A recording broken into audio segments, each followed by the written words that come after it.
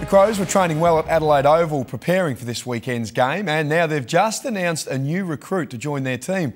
This talented new player is very excited to be given this opportunity.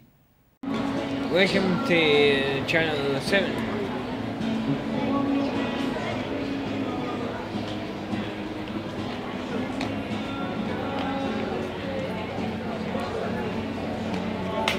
Watch 7 News for all your Adelaide Crows and AFL updates.